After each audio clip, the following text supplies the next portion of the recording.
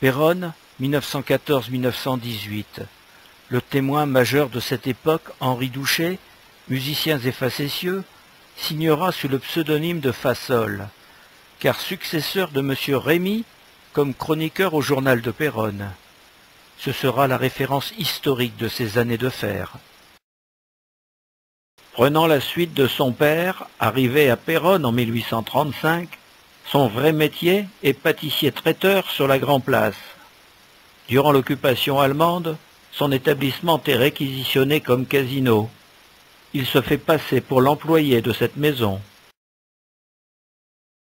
En première loge, il entend tout, voit tout, mais prudence oblige, il ne prend pas de notes.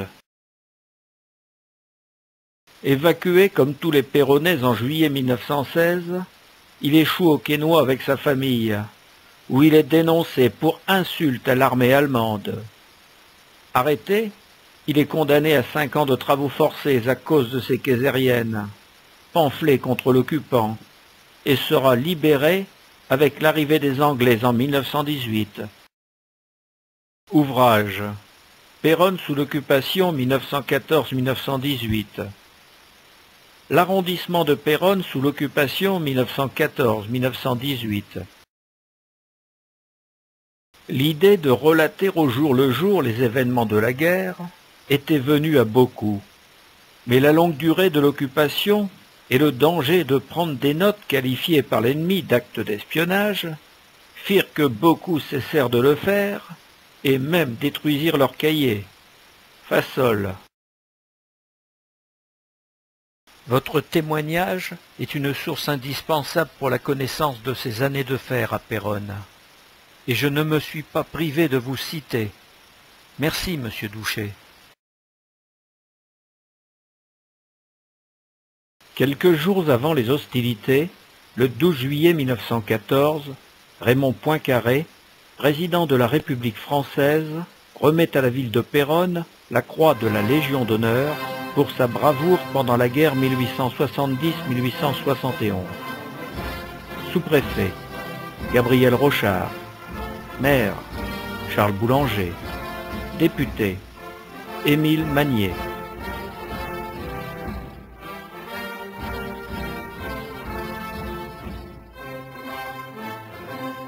Visite de Poincaré.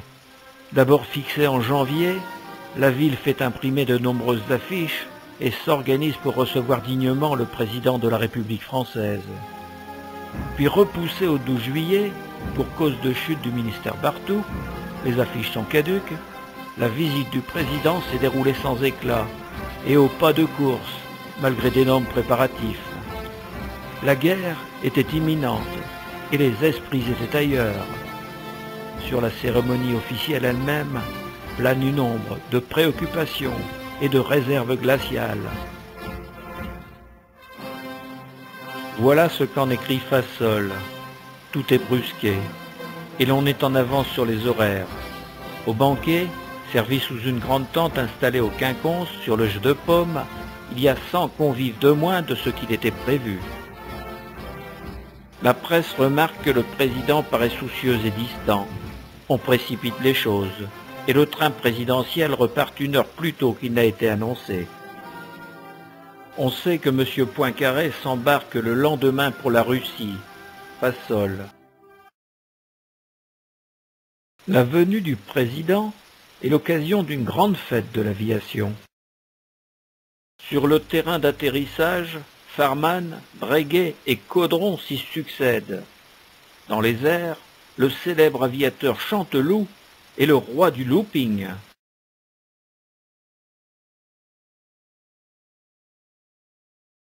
Le photographe Édouard Souillard, fidèle à sa profession, en fera des cartes postales, de la réclame pour les aviateurs, fous du ciel.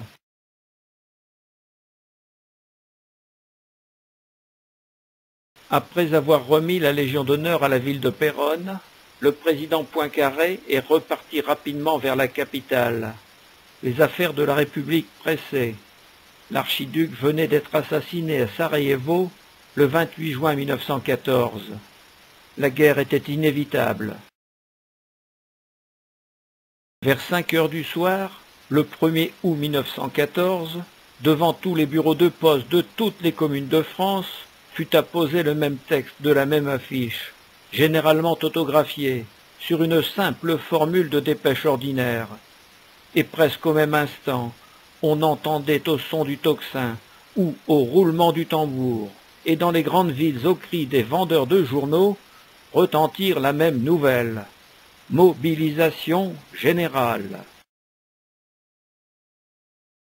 En écoutant les mémoires de l'abbé Caron, archiprêtre de Péronne, nous apprenons comment ces heures tragiques sont vécues dans la ville.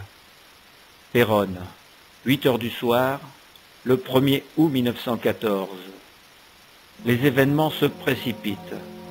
À 5 heures est arrivé l'ordre de mobilisation générale. Monsieur Boulanger, maire, m'envoya aussitôt un agent pour me faire dire de sonner les cloches. Je donnai l'ordre de sonner le bourdon, dont la note grave répond si bien aux graves circonstances dans lesquelles nous nous trouvons. Jamais je n'oublierai l'impression de cette heure grave entre toutes, ni le son du tocsin clamant à toute la région que la patrie est en danger, que la grande question de vie ou de mort est posée pour la France.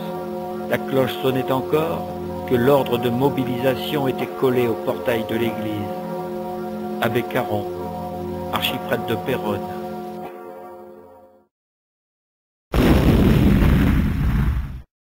Chronologie des occupations, prise et reprise de Péronne. Après la tragique bataille de Moilin, près de la ferme du gouvernement, les Allemands occupent Péronne le 28 août 1914. Dans l'euphorie de la reconquête, suite à la victoire de la Marne, les dragons français défilent à nouveau dans la ville le 15 septembre 1914.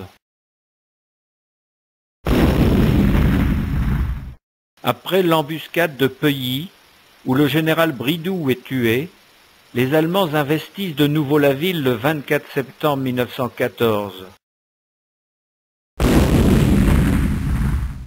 Les Allemands ne l'évacuèrent qu'en mars 1917, lors de leur repli sur la ligne Hindenburg. La ville est alors reconquise par les Anglais le 18 mars.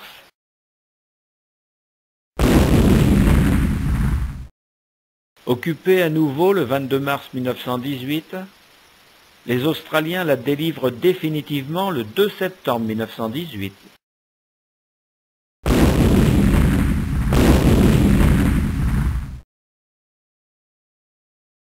La bataille de Moilin. Avec la déclaration de la guerre, la première armée de Von Kluck envahit le Vermandois.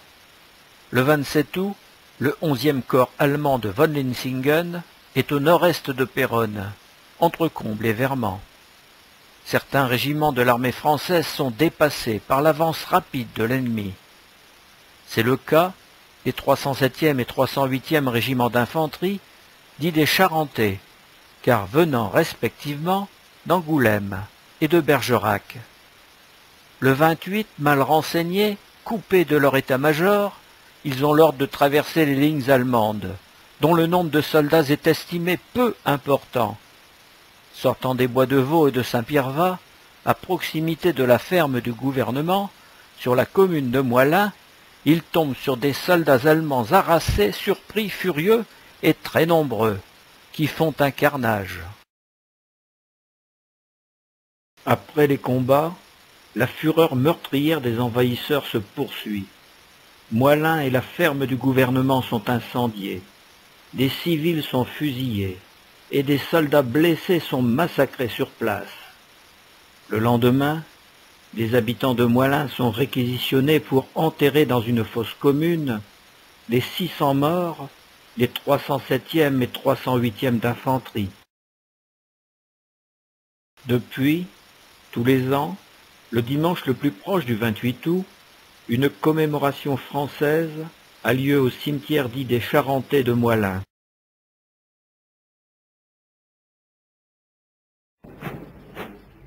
Les Allemands investissent la ville le 28 août 1914.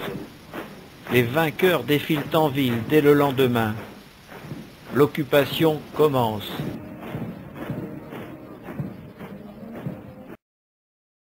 La nuit du 28 août 1914. Vers 8h30, une grande lueur éclaire la place. La boucherie du pont et la sous-préfecture sont en flammes. Le feu a été mis dans les greniers une demi-heure auparavant, en passant par la boucherie et à l'aide d'engins spéciaux, sans doute des grenades. Les voisins ont perçu des détonations. Il fait un vent du nord assez vif qui active l'incendie. Les étincelles et les flamèches s'envolent loin, et bientôt, les archives entassées dans les greniers de la sous-préfecture venant à prendre feu, c'est une pluie de papiers enflammés et de cendres rouges qui tombent sur la chaussée, le marché aux herbes, et jusqu'aux maisons en face. À la même heure également, et aux lueurs de ces incendies qui se reflètent dans la Somme et dans les eaux du Cam, une chasse à l'homme se livre dans les petits jardins vers Saint-Radegonde. Des chasseurs alpins coupés de leur bataillon par ce barrage que fait la Somme sont traqués d'abri en abri et l'on peut dire assassinés par une bande de brutes qui se livrent impunément au massacre, car nos soldats n'ont plus de cartouches. Fassol.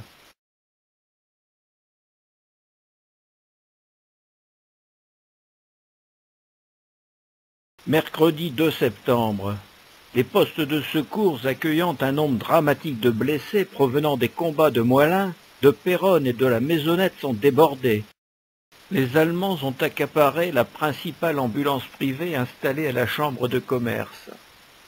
De ce fait, c'est à Jeanne d'Arc, aux Oblates et à la clinique que fonctionnent les services de la Croix-Rouge, organisés par les docteurs, les dames et les demoiselles de la ville.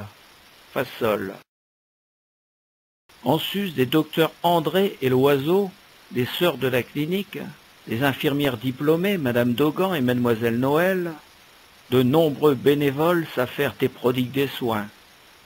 Dévouée, Madame Marguerite Dogan, infirmière militaire, restera volontairement auprès des blessés intransportables et restera encore lors de la deuxième occupation allemande. Elle quittera la ville le 25 avril 1915 en raison d'accords et d'échanges internationaux. Mais les Allemands savent qu'elle est la femme d'un commandant français. Aucune vexation, aucun procédé révoltant ne lui seront épargnés. Fassol. Marguerite Dogan, décorée de la Légion d'honneur à l'issue de la guerre, publiera en 1926 son ouvrage de témoignage. Mon séjour à Péronne pendant l'invasion, 25 août 1914, 25 avril 1915. Le 14 septembre à 4h20, le drapeau allemand qui flottait sur l'hôtel de ville est retiré.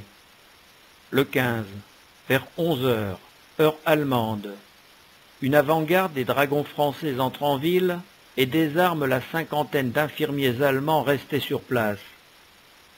M. de Villers, bijoutier horloger, remet à l'heure française l'horloge du campanile de l'hôtel de ville. Les quelques alpins cachés dans les marais, par une poignée de courageux péronnais, sont délivrés. Le général Bridoux, avec un peu d'artillerie, deux divisions de cavalerie, quelques compagnies cyclistes et un bataillon de zouaves, forment la garnison de Péronne. Le 17, sous une pluie battante sur la route de Vermand, et suite à une erreur de navigation à Peuilly, le général tombe dans une embuscade allemande où il est blessé mortellement. La mort du général Bridoux portera un coup d'arrêt à la reprise française dans la région. Le 24, tôt le matin, les Bavarois reprennent la ville. Une nouvelle occupation commence les brimades, les pillages, l'arbitraire peuvent recommencer.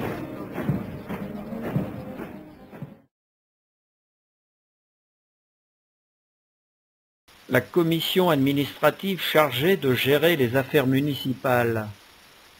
Le jeudi 27 août, on apprend le départ de toutes les autorités municipales et administratives. Le sous-préfet Rochard et le maire Charles Boulanger quittent la ville après avoir rassuré la population. M. Linet dirige la mairie, deux conseillers sont restés, M. Ponchard et M. Lenné.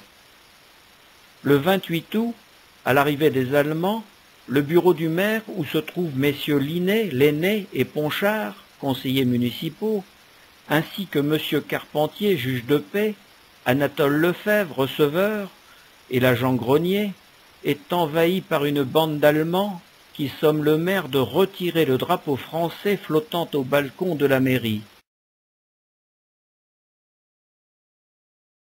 Le 1er septembre 1914, la commandanture ordonne à M. l'abbé Caron, archiprêtre, M.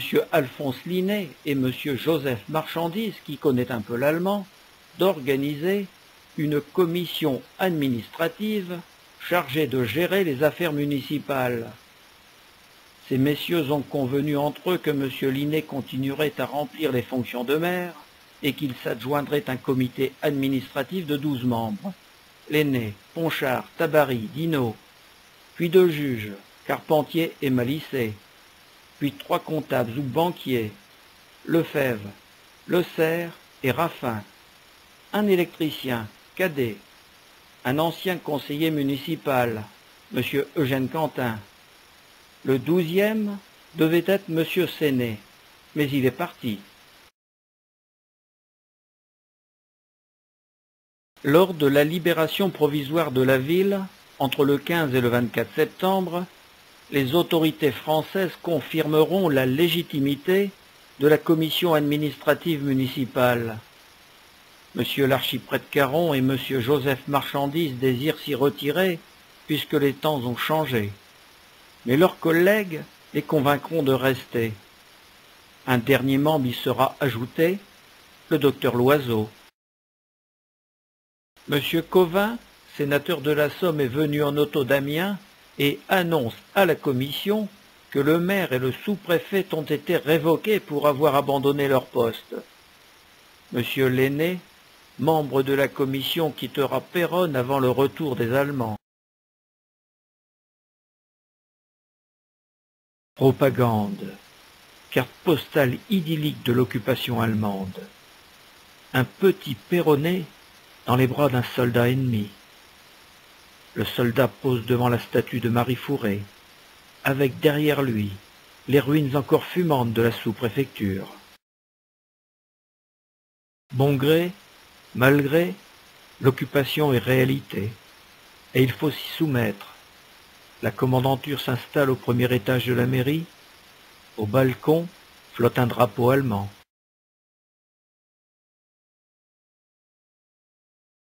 Péronne, Haute-Place mit Kirche. Lundi 5 octobre 1914, trentième jour d'occupation. Il paraît que nous avons eu, sans nous en douter, et sans du reste l'apprécier autrement, l'insigne honneur de recevoir l'empereur Guillaume. Tous les officiers l'affirment. Il serait passé vers onze heures dans un groupe de sept autos qui ne se sont pas arrêtés. Les troupes ont poussé des hurrahs à son passage. Il visite ses armées et leur apporte ses encouragements. Abbé Caron. Le commandant en chef de l'infanterie bavaroise, le général Xilander, installe ses quartiers à Péronne, dans l'hôtel particulier Terlé, rue Saint-Sauveur. Semaine du 18 octobre au samedi 24. Il y a des casinos dans tous les coins et les occasions de fêter ne manquent pas. Au casino du général von Zielander, chez M. Douchet, grande ripaille le jeudi 22. Dîner de 80 couverts avec faisant truffé, à l'occasion d'une promotion flatteuse et d'une distribution de croix de fer, fasole. Pendant ce temps, les jeunes gens de plus de 15 ans sont recensés il se murmure que certains seront évacués en Allemagne. Le général Xilander aura sous ses ordres le colonel Krupka, commandant de la place de Péronne. L'interprète du colonel Krupka, interlocuteur privilégié de la municipalité, est un dénommé Cross. Fassol dira de lui plus tard un sale oiseau qui nous a fait toutes les misères possibles, Ce Boche fielleux et haineux était avant-guerre employé à notre bibliothèque nationale et habitait Paris. Du moins, il s'en vante. En cette troisième semaine d'octobre 1914, peu de faits de guerre à noter. Il y a certains jours où l'on n'entend pas un coup de canon. On sait que le front est stabilisé à Frise, Capi, Maricourt, Lyons, Foucaulcourt.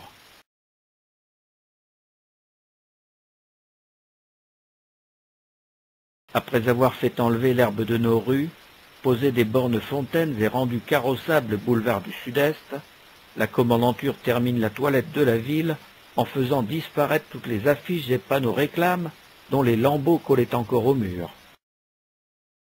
Mais, du même coup, elle fait main basse sur les enseignes en zinc, panonceaux d'officiers ministériels, etc. On pose des panneaux indicateurs à tous les carrefours. Fassol. Les corvées, bien sûr, sont faites par des prisonniers de tout pays, et des perronnés, travailleurs civils, réquisitionnés. Fassol nous relate aussi que dès la fin octobre 1914, les Allemands avaient construit un pont sur la Somme, près des Moulins d'Amé, pour terminer le boulevard du Sud-Est.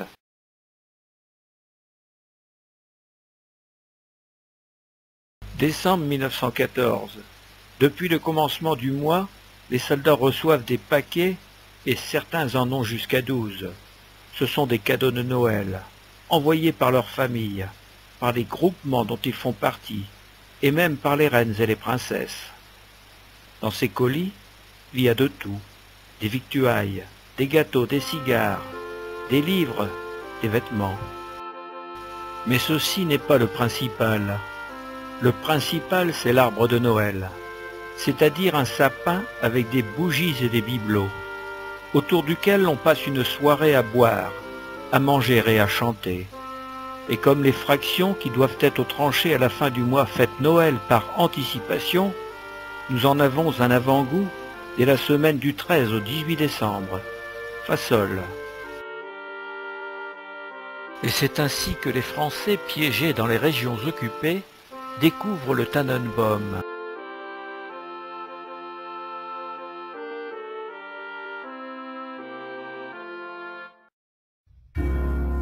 Cependant, M. l'abbé Dubois, aidé de quelques hommes de bonne volonté, dispose une modeste crèche dans la chapelle Saint-Antoine de Padoue, et demain l'enfant Jésus sourira aux petits Français qui n'auront pas pu dormir, à cause du réveillon Boche.